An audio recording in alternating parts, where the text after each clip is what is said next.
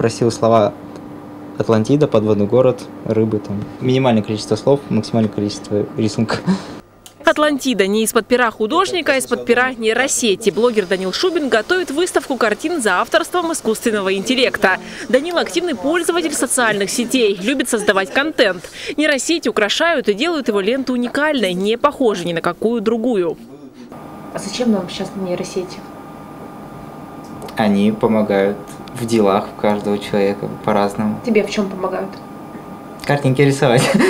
Парад воздушных шаров. То, что мы изобразить. То, возможно, то, что тебе могло только присниться, а ты можешь это просто написать, и это все нарисует. Журналисты нашего телеканала попросили нейросеть нарисовать города Алтайского края. Искусственный мозг изобразил. У каждого свое лицо. Больше всего подписчики оценили Бийск. Это сейчас произведение, которое на лету создается просто нейросетью. Никто до и никто после этой мелодии не услышит. Нейросеть создает музыкальное произведение, исходя из предпочтений пользователя. В данном случае плейлиста директора Института цифровых технологий Михаила Рязанова. По его словам, нейросети штука не новая. Появились в 60-е и 70-е годы прошлого столетия.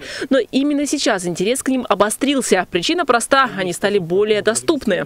На сегодняшний день вышли э, много нейросетей, связанные с простым общением с человека.